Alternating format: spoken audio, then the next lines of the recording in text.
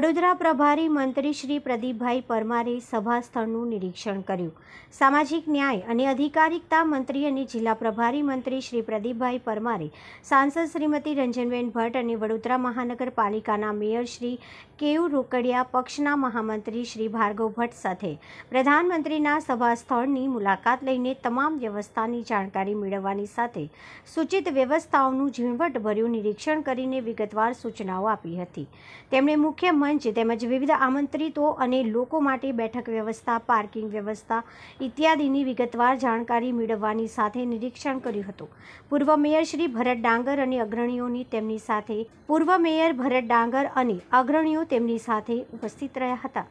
ગુજરાતના પર્વતપુત્ર, દેશના યશસ્વી વડાપ્રધાન વૈશ્વિક નેતા શ્રી નરેન્દ્રભાઈ મોદી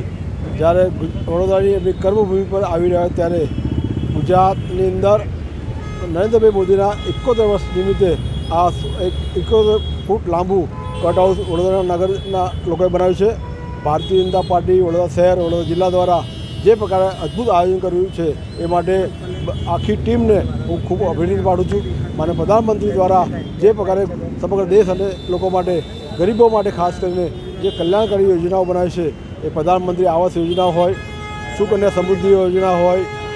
ગરીબ બહેનોને ઉજ્જવલા યોજનાની આવી વિવિધ પ્રકારની અનેક યોજનાઓના માધ્યમથી છેવાડાના માનવીનો વિકાસ કરવાની જે એમની ખેવના છે, એના ભાગરૂપે જ્યારે ગુજરાતની પ્રજા નરેન્દ્ર મોદી જે પ્રકારે કામ કરી રહ્યા છે, એ ઉમરકાર સાથે આખું વડોદરા શહેર એમના સ્વાગત માટે વિલોડો ચડાવવાનું હોય ત્યારે પ્રધાનમંત્રીશ્રીનું સ્વાગત, શાનદાર સ્વાગત થવાનું છે.